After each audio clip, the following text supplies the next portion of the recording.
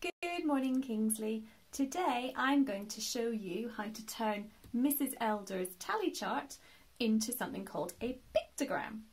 And first of all I need to show you what a pictogram is. So if we move along, this is a pictogram. And this is a pictogram that shows how some children travelled to school. So you can see we've got lots of different ways of them travelling. The first thing is it's got a title. How do children travel to school? Then you'll see they've drawn two lines. One line going up and down and one line going across and they meet here um, in a right angle. But these lines are called the axes and they've got labels.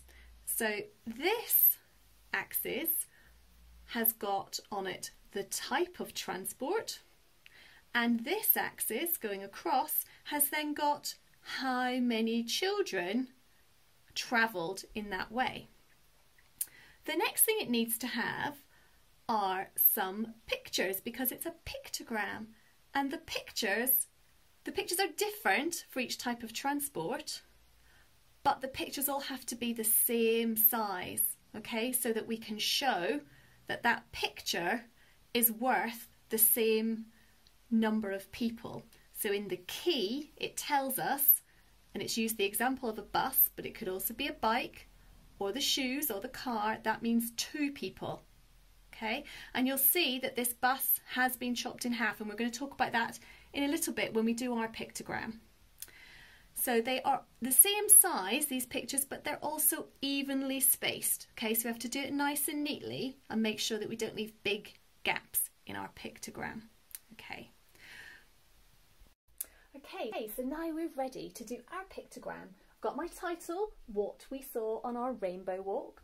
I've got my two axes and I've actually turned my pictogram around. So I'm going to have the objects going up from the bottom rather than along from the side in the example that we had. Um, and I've decided that when I looked at Mrs. Elder's tally chart, 24 was the biggest number for the number of people. And I thought, you know what, I'm not going to fit 24 pictures on here. So I'm actually going to use the same key that we had in the example, the same um, number.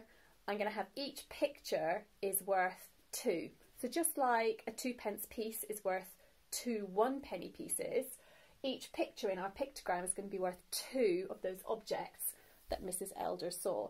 So I need to complete my key. So I need to say the picture equals two objects. Okay. And then I need to be checking my tally and I'm just going to stick on the pictures. So the rainbows there were 20.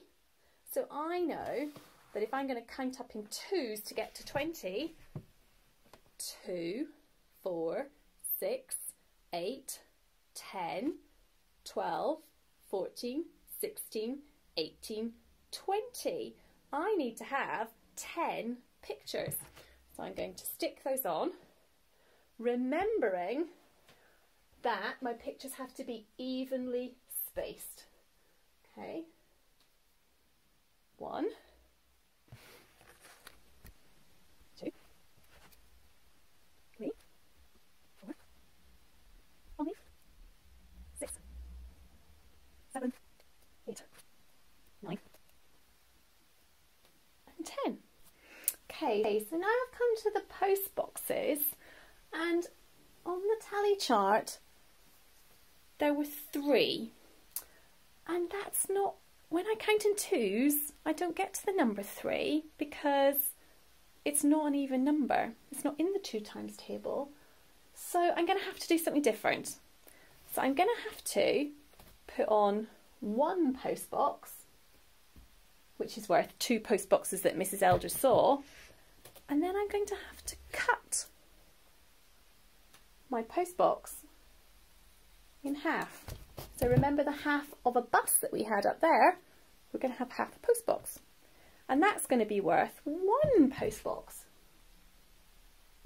So then we've got two plus another one gives us our three post boxes that were on our tally chart. Okay, so now my pictogram is finished and we can really clearly see which objects Mrs. Elder saw the most of. So, your challenge, Kingsleigh, is to use the data that you found on your walk or when you went around your house or when you asked uh, some people some questions, whatever data you have found, is to put it into a pictogram. Remember your axes, remember your title. Uh, you don't have to cut pictures out. You're probably a lot better at drawing than I am. So you might want to draw little pictures, but just remember to make sure that they're the same size and that when you put them onto your pictogram, they're nice and evenly spaced. Okay, and don't forget your key. Good luck.